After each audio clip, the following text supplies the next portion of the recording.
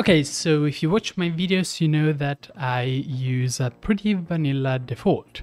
There's a reason for that. During development, I often have to test out some other themes and such, and it's usually just easier to then revert back to the normal breeze. I don't have much time to actually go ahead and do a custom setup to my liking, especially when I spend so much time trying to make the default theme breeze better for everyone.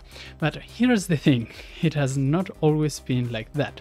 Years ago I was a little kid that didn't contribute to any open source project all the good old times and yeah, I had some wild setups. In particular, I just loved to go extremely extremely minimalistic and I know what you're thinking but no more minimalistic I actually do remember the first time I started using KDE Plasma and as soon as I discovered and it only took a few seconds that I could change anything I basically didn't stop for years. So I think it's time to present to you my super custom setup. And if you were wondering, how can I remember exactly the setup? Well, that's not uh, thanks to me, but rather I've posted my setup on Unixporn.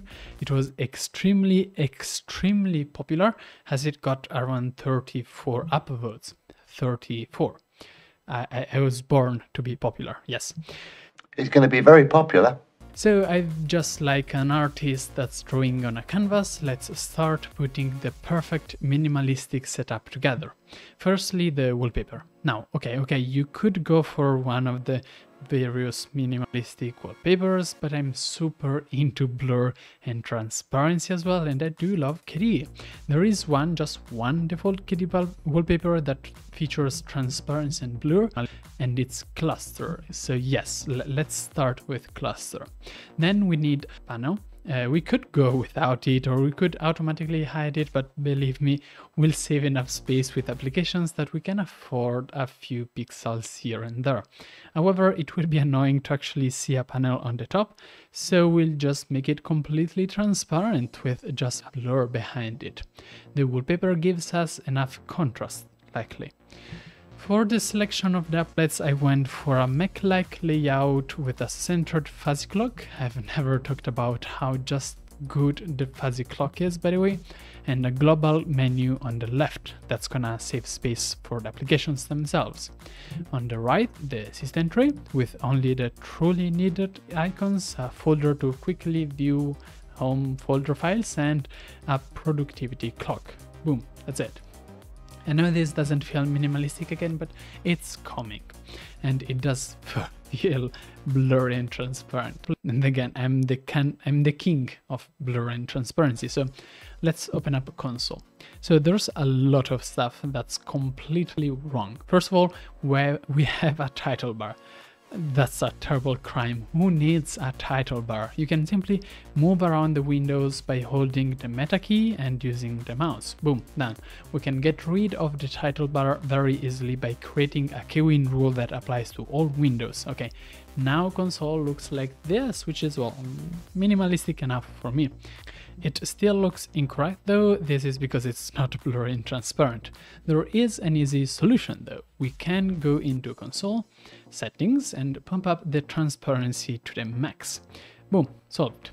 We'll also apply blur. However, I'm still rather unhappy because I'm not going to spend my time managing my basically invisible windows, so I'll head over the Kwin scripts section and immediately download a tiling script. This way is gonna maximize and uh, since both the panel and Konsole are fully transparent, it doesn't even look like they're two different components, but rather it's one whole thing. I think this really makes the whole setup feel less heavy and more minimalistic. Next up is Kate, which looks like this. Oh no, this is terrible. I mean, normally I love Kate, but this is completely inconsistent with everything we're doing. First of all, we've got a sidebar with soft stuff and that's taking space and I don't really, really need it. To make those disappear, you can go into the plugin settings and just disable everything or you can go into go icon by icon clicking hide icon. There's a lot of text on the bottom still, but we can get rid of it in the appearance section of Kate settings. whilst we're there, we can also kill everything in the borders sections, which includes the weird scroll bar, which I love, and the line numbers on the left. We can finally get rid of the whole status bar entirely in the settings menu, and we can also kill tabs and the location of the file since you know should always know all your files by heart anyway. If you're weak, you can keep the document structure button on the left, which allows you to switch between files much better than tabs anyway.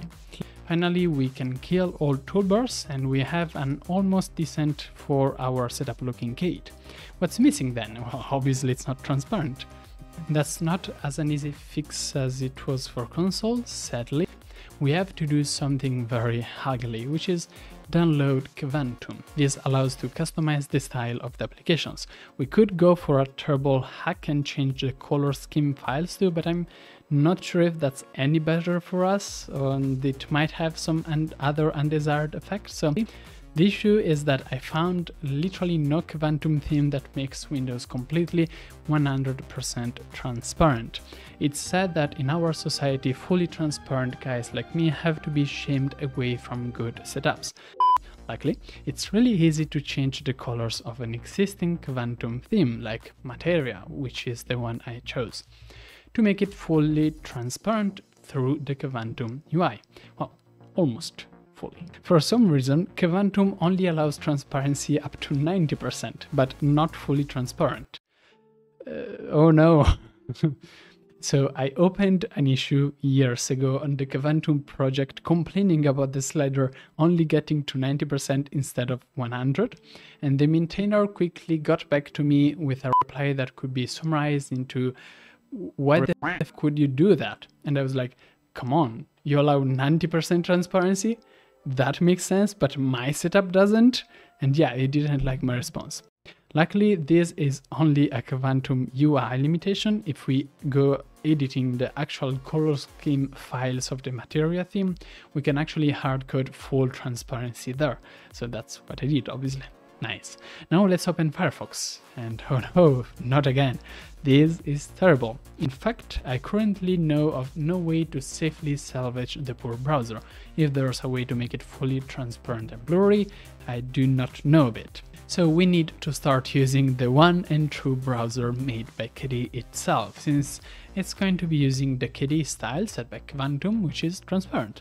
You might be thinking about Falkon, and that would be a correct thought. However, Falkon doesn't look good enough for me. It's still not fully fully transparent and blurry as I'd like. You might see where this is going, if not, you are in for a ride. We are going to use the one and true KDE browser. And we are going to use Konqueror. Conqueror. Konqueror. Konqueror. If you don't know what Konqueror is, well, I'm not even sure how I'd explain that. I can simply download it, it and open it so you can see what it looks like. It looks like this, which is finally something that feels like makes sense as a whole. By the way, Konqueror is also able to display your folders and your files if you want to give a brief look to them. Next up is Dolphin. Well, this is getting easier. This one is actually almost perfect. The only thing that's missing uh, is to hide this horrible opaque uh, frame, but that's actually rather easy to just directly go into Kvantum settings and click a checkbox.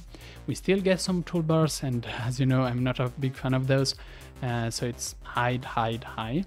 If I ever need something, I can simply use the global menu or the nice A command bar, Control Alt I, which opens a search bar where I can actually search through all actions in Dolphin. I'm obviously also disabling the left panel because okay, why wouldn't I do that? However, there's a reason to argue that adding a preview pane on the right could keep things still very minimalistic, but you know, still decently pretty. So we can get, we can go for that one. Similar story for poor Okular. We keep the document, but we immediately kill off the toolbars. We can kill the sidebar too, but you know, it's transparent and it's kinda useful, so we can keep it, I guess. Next up is LibreOffice. Uh, oh no, this is not right. Okay, let's directly give up on LibreOffice. We shouldn't, because there are ways to make LibreOffice kind of consistent with this theme too, but back when I first did this, I didn't know, so we immediately switched to the one and truly KDE Office application, Calligra, which isn't that bad actually, not at all. It's not something I would suggest for real use, mm -hmm, but I did write some documents with it and that worked. We still have to kill off the toolbar, again there's shortcuts and the global menu anyway, and then we can move around the giant ugly sidebar to our liking. To be honest, the design of the giant sidebar is the only thing of this application that I feel like doesn't make any sense whatsoever. Everything else is sane. I do have one very bad news. View, when I first did this setup, looked completely broken as it drew a custom hard-coded completely opaque background. This was a very big issue. However, that was refactored since six years ago. Yes, this was six whole years ago. It's crazy for me to think about it now. And I think now it has some chance of working. I haven't tried yet. It might have even more chances of working if we also mess a bit with the color scheme files to force transparency, since it now follows the color scheme. It didn't six years ago, so yeah. As far as application go, that's it really. This is biggest part of the setup. We still have some details to address though. We need, we need to choose an application launcher. Now we of course don't need an application launcher, we can just use KRunner or whatever, but we said we can't have pretty things. After all, the launcher is minimized most of the times, uh, so even if it's big, that won't really be an issue, so let's give it a shot. This is extremely subjective, whereas the rest of the setup is objectively beautiful, but I went for the tiled menu written by the amazing Zren. I can customize the various tiles with little space between them, with no text and big shiny icons and background colors that match the color of the icons. I mean, come on, look at this. It looks freaking beautiful. So yeah, that's what I'm going with as the launcher. We can hide the left sidebar because of course we're going to hide the left sidebar and it's beautiful. 10 out of 10. Now, jokes aside, this whole setup hardly makes any sense whatsoever, but it was actually the setup I was using every day six long years ago. It has since been a lot of time, I've, I've changed a lot, but underneath my breeze is cool skin, I still have a what do you mean I can't make my applications 100% transparent hearth? I promise I'm not going to let that overflow into my KDE work, not too much at least, just a little bit. Just a little bit. See ya.